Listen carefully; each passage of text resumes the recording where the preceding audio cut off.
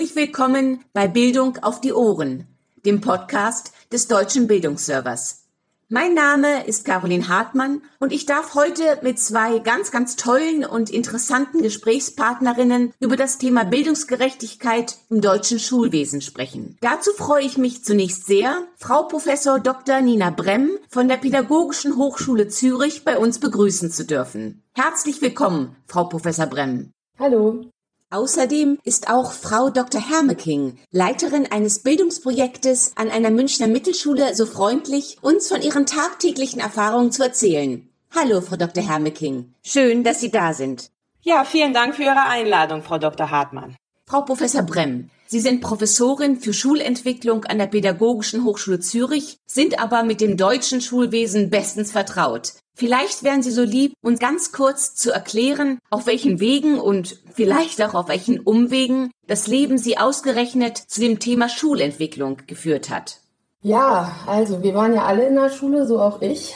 Ich war auf so einem klassischen Gymnasium mit viel Frontalunterricht, dialogischen Formaten, wenig Möglichkeit, sich selber auch einzubringen, wenig Partizipations- und Mitbestimmungsmöglichkeiten auch. Ich habe eigentlich nach der Schule gedacht, dass ich mit Schule auch danach nicht mehr viel zu tun haben werde und ähm, habe Soziologie studiert und habe mich dann ganz früh mit dem Thema Bildungsungleichheit auseinandergesetzt, weil ich auch hier eine biografische Prägung habe. Meine Mutter war Lehrerin einer Hauptschule. Ja, das hat schon mein Interesse unheimlich geweckt dafür, welche Voraussetzungen das Bildungssystem für unterschiedliche Lebenswege bereitstellt und was daran auch nicht gut läuft und auch ungerecht ist und habe das dann mit den soziologischen Theorien besser verstanden und habe mich dann relativ früh fokussiert auf Bildungssoziologie, wo es um die Möglichkeit von Ganztagsschulen, die potenziellen Möglichkeiten von Ganztagsschulen für eine bessere Lernentwicklung von Schülerinnen und Schülern nicht deutscher Erstsprache ging und inwieweit die Schulentwicklung und die Unterrichtsentwicklung dort eine Rolle spielen kann. Ja, und dann habe ich mich in den letzten Jahren also auch immer mehr für die Bildungssystementwicklung, also nicht nur die Einzelschule als Entwicklungseinheit, sondern auch das Bildungssystem mit seinen Unterstützungsstrukturen und Verwaltungsstrukturen Strukturen als Ganzes interessiert. Ja, und da bin ich jetzt. Das ist das, was mich interessiert.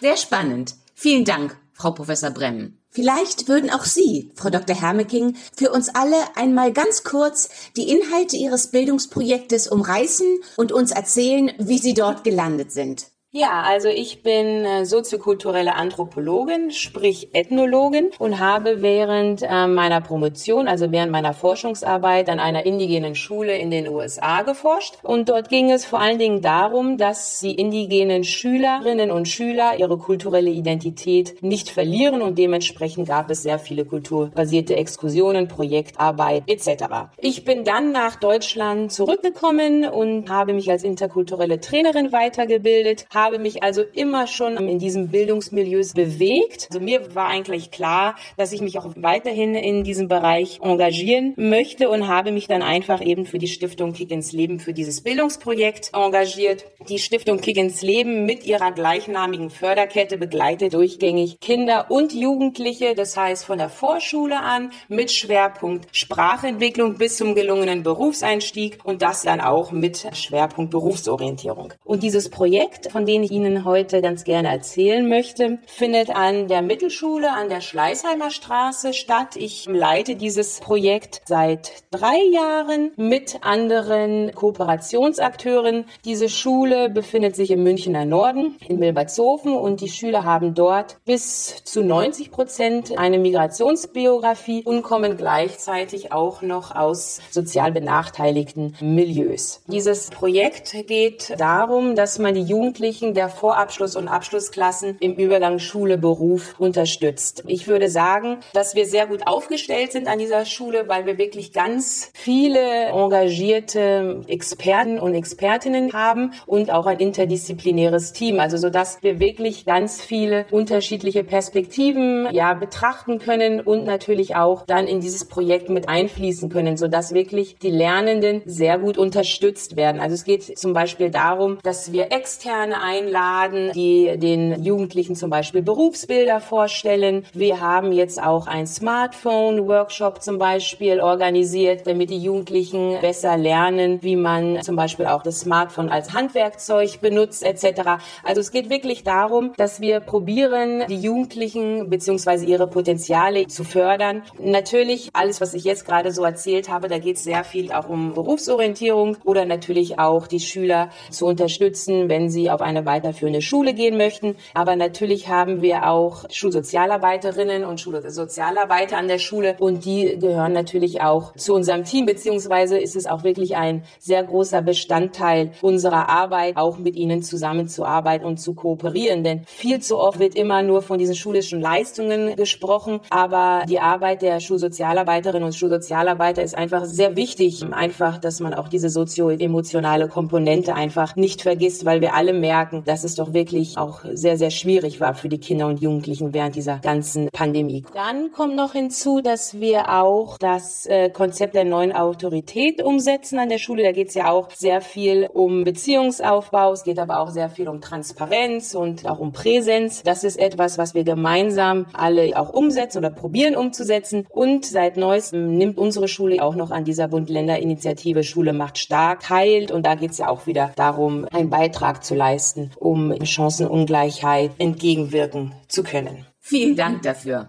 Vielleicht darf ich ja mit einer ganz einfachen oder vielleicht auch sehr schwierigen Frage anfangen.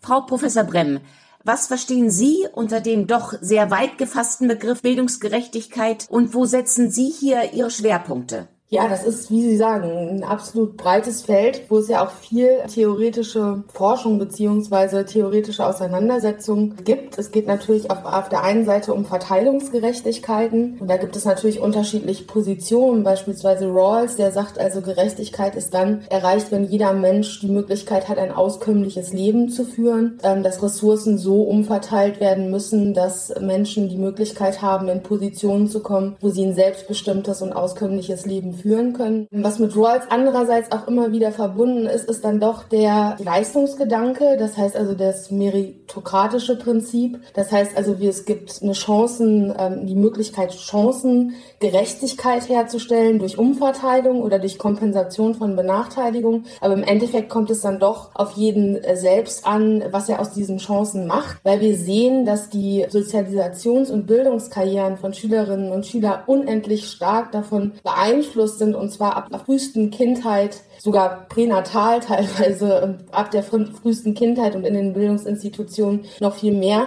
davon, welche Rahmenbedingungen sie für das Lernen tatsächlich haben. Das heißt also, inwieweit ich die Fähigkeit ausbilde, Leistungen in unseren auch stark normierten Bildungssystemen zu erbringen, hat was damit zu tun, wo ich herkomme und wo ich sozialisiert werde und welche Möglichkeiten ich habe. Das heißt also dann Schülerinnen und Schüler nur über ihre Leistung tatsächlich zu definieren, ohne in Betracht zu ziehen, was es eigentlich braucht, um diese Leistung zu entwickeln, halte ich für schwierig. Ich kann Ihnen da ein Beispiel nennen. Wir wissen aus gleichenden Studien von IGLU und PISA, also IGLU die, die Leistungserhebungen der vierten Klasse und PISA die Leistungserhebungen in der neunten Klasse, dass Kinder, die in der vierten Klasse die gleichen Fähigkeiten im Lesen hatten beispielsweise, ja, also die haben alle in einer Varianz von, weiß nicht, fünf Punkten, alle die gleichen Fähigkeiten in der vierten Klasse gehabt und aufgrund von Selektionseffekten unseres Bildungssystems die sowohl durch Lehrpersonen beispielsweise gefällt werden, als auch durch Entscheidungen von Eltern, landen diese Kinder dann auf unterschiedlichen Schulformen in unserem dreigliedrigen Schulsystem.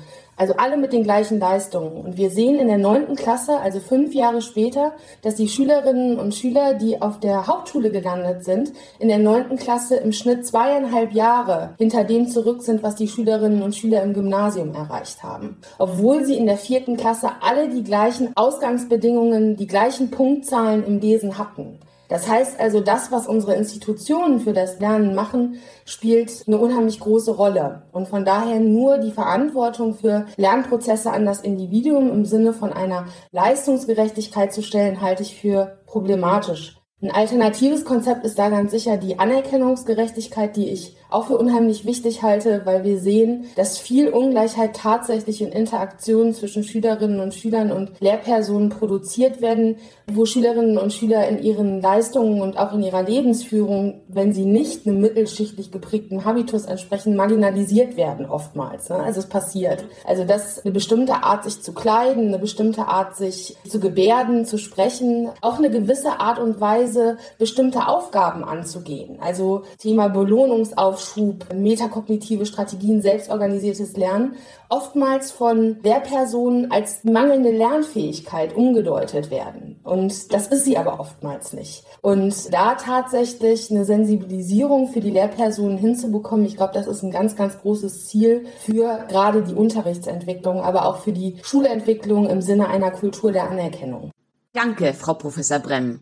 Und ja, gerade die Anerkennungsgerechtigkeit scheint hier ein wirklich zentraler Punkt zu sein. Umso mehr interessieren mich hier Ihre Erfahrungen, Frau Dr. Hermeking. Wie erleben die Jugendlichen, die Sie derzeit begleiten, das deutsche Bildungssystem? Also erst einmal würde ich definieren, was für mich eigentlich Anerkennungsgerechtigkeit heißt. Also für mich würde das eigentlich sowas bedeuten, dass man einfach weggeht von dieser Defizitorientierung, ja. Und besonders wenn man mit Jugendlichen aus benachteiligten Milieus arbeitet, finde ich, ist das ein ganz, ganz wichtiger Schritt, weil viele unserer Jugendlichen begegnen ja wirklich genügend Stigmata, ja. Und ich finde, es ist einfach sehr wichtig, dass man auf Augenhöhe arbeitet, ja, und dass die Jugendlichen auch einfach gesehen werden. Eine Schülerin hat mir eine Dankkarte am Ende des Schuljahres geschrieben und da stand unter anderem drin, ja, sie haben uns so genommen, wie wir sind und sie haben uns immer geholfen. Das finde ich sagt einfach sehr viel aus, ja, dass die Jugendlichen ernst genommen werden möchten und dass man nicht äh, von oben herab mit ihnen zusammenarbeitet. Wie gesagt, viele unserer Jugendlichen haben einfach schwierigere Startchancen wie andere Jugendliche in München und deswegen ist es auch ganz, ganz wichtig, dort mit dem Lernen anzusetzen und die Schülerinnen und Schüler auch wirklich dort abzuholen, wo sie sind. Ja, denn, denn viele unserer Jugendlichen werden auch innerhalb der Familie sehr viel gefordert. Ich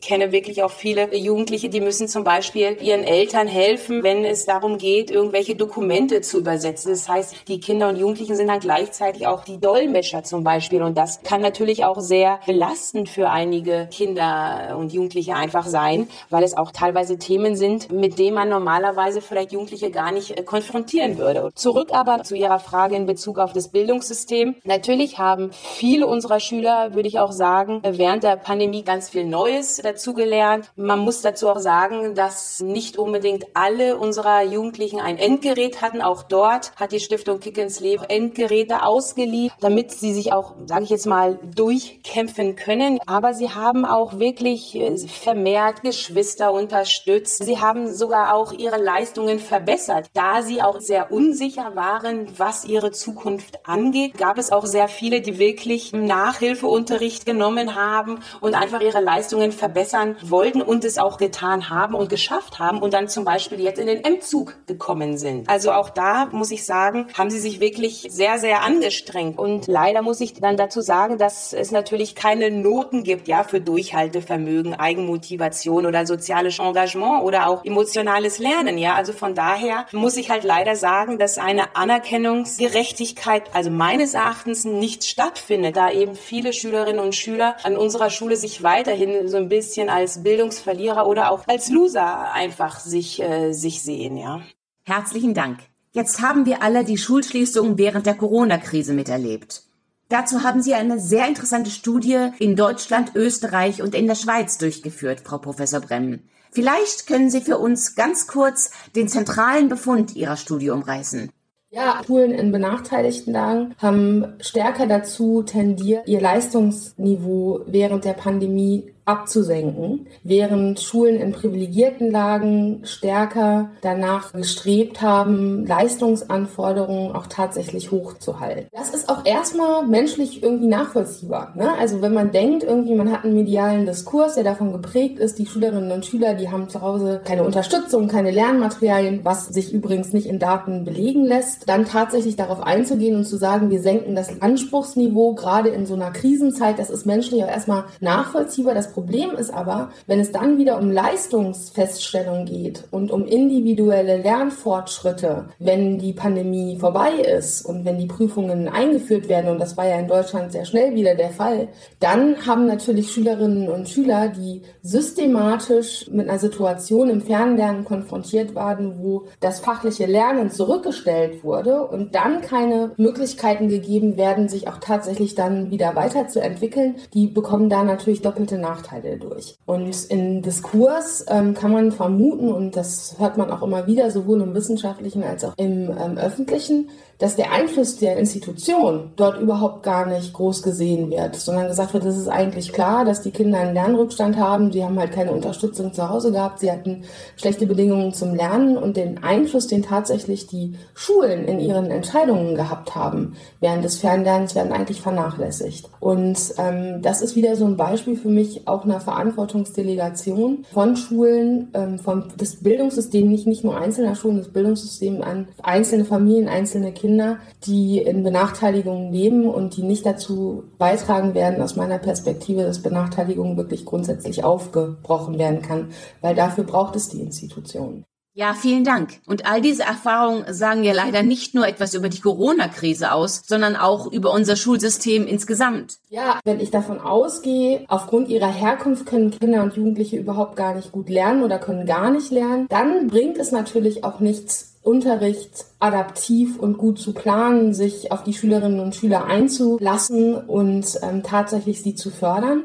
weil die Leistungsentwicklung, die Lernentwicklung der Schülerinnen und Schüler außerhalb des Einflussbereichs verortet wird. Und das führt in der Folge dann auch tatsächlich wiederum zu einer negativen Selbstbeschreibung der Lehrperson selber im Sinne von fehlender subjektiver, individueller und auch kollektiver Selbstwirksamkeit. Das heißt, sie trauen sich auch gar nicht zu, etwas an der Situation zu verändern und das macht natürlich unheimlich unzufrieden. Wir haben eine Tradition, so seit den 70er Jahren in Deutschland ganz extrem, dass wir eigentlich Organisationsentwicklung betreiben wollen in Schulen nach einem managerialen, nach einem Management von Firmen abgeschauten Prinzip. Das heißt also, man hat irgendwie einen Plan und dann sollen sich alle danach richten und dann wird schon werden. Und wir wissen eigentlich aus der Forschung, dass das nicht gut funktioniert.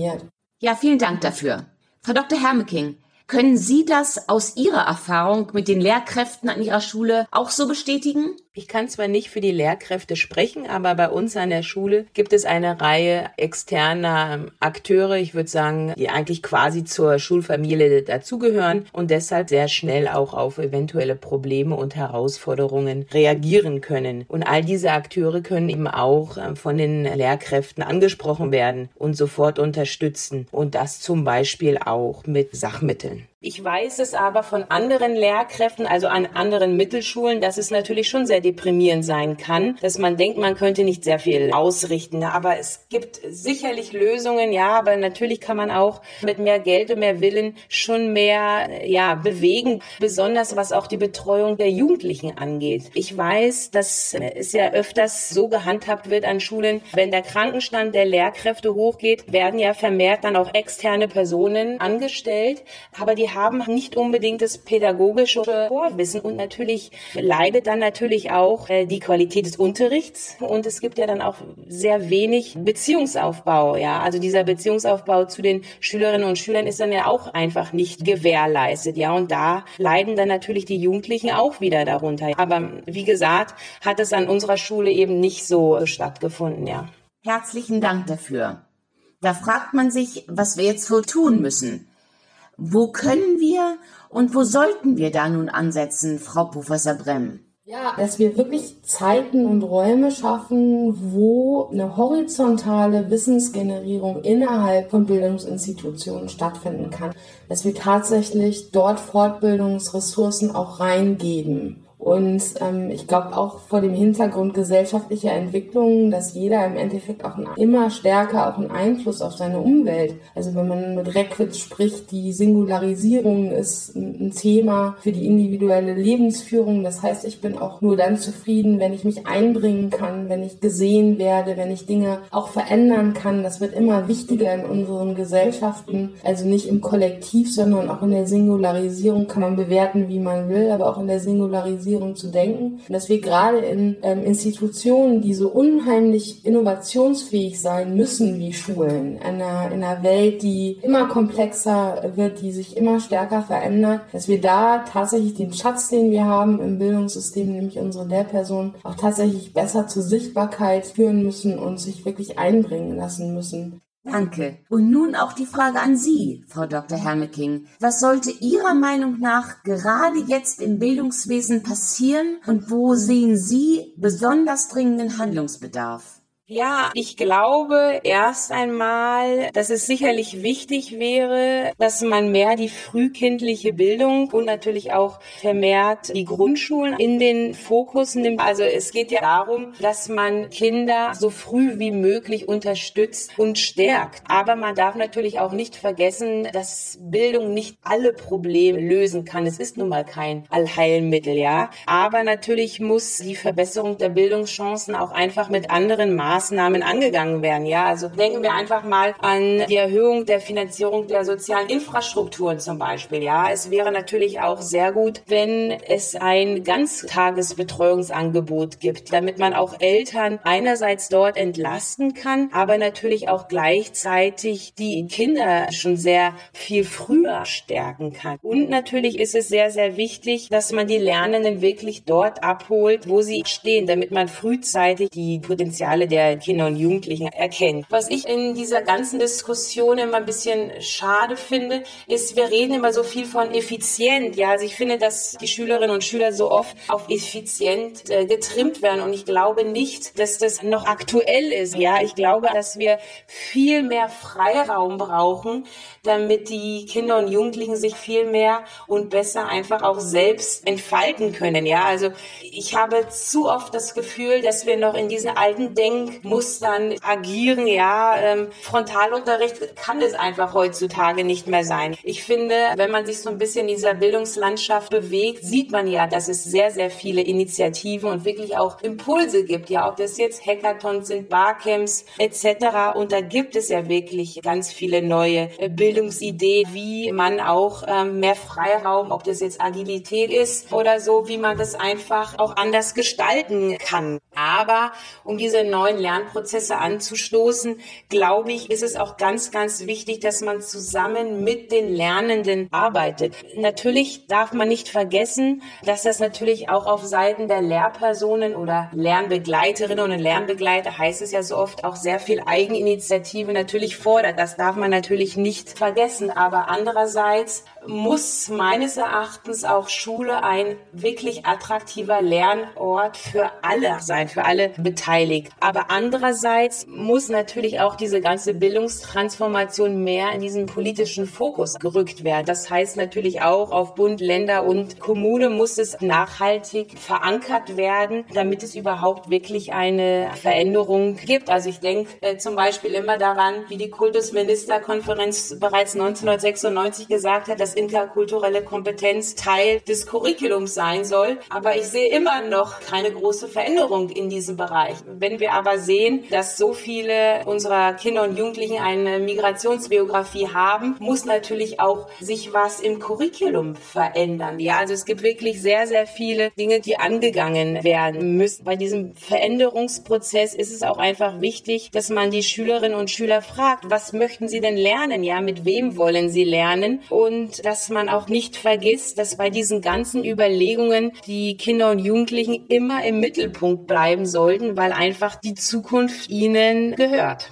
Vielen Dank. Kennen Sie Projekte, Frau Professor Bremm, die Sie persönlich sehr unterstützen und die vielleicht richtungsweisend sein könnten? Ja, da gibt es erste Konstellationen, ähm, beispielsweise im Projekt Liga, Lernen im Ganztag, ein Projekt, was, glaube ich, in neun Bundesländern jetzt schon seit ein paar Jahren äh, läuft, wo beispielsweise die Schulaufsicht auch Teil eines Lernnetzwerkes ist. Das heißt also auch selber Fortbildungen auch annimmt und sich, sich selber auch weiterbildet im Sinne der Ganztagsschulentwicklung. Wir haben in Berlin ein Projekt, was ich mit Rick Mintrop von der UC Berkeley und dem Berliner Senat durchführe, wo wir auch in solchen Research Practice Partnerships sitzen, wo die Wissenschaft ein Akteur am Tisch ist, die anderen die Schulen, aber auch Menschen aus der Schulaufsicht, aus dem Ministerium, also aus dem Senat, beziehungsweise auch ähm, aus dem Unterstützungssystem, also Schulentwicklungsberaterinnen. Und so ein multiperspektivischer Blick auf die Situation kann natürlich ein Verständnis für gelingende Entwicklungsprozesse bringen, die jeweiligen Logiken der einzelnen Player, die am Tisch sitzen, mit sich bringen und auch die jeweiligen Eingebundenheiten und Vorgaben, die man hat, in denen man entscheiden muss und macht es daher nochmal möglich, auf einer größeren Ebene über die Sinnhaftigkeit bestimmter Bestimmungen und die Möglichkeit von Spielräumen ins Gespräch zu kommen, auch auf einer politischen Ebene dann wiederum. Und ich glaube, das sind Konstellationen, die zwar aufwendig sind, also man muss sich benehmen und die sind auch nicht immer störungsfrei, sag ich mal, ne, weil ganz klar da natürlich ganz unterschiedliche Perspektiven und Prägungen, Historien auch tatsächlich mit am Tisch sitzen. Aber es ist sehr, sehr fruchtbar und es bewegt sich dann halt auch tatsächlich was. Und vor allen Dingen, wenn man in so einen gemeinsamen Arbeitskontext kommt, hört es auch auf, dass man über Worthülsen spricht. Da geht es dann wirklich ans Eingemachte und da kann man auch wirklich Veränderungen erzielen. Liebe Frau Professor Bremm, liebe Frau Dr. Hermeking, ich danke Ihnen ganz, ganz herzlich für dieses tolle Gespräch.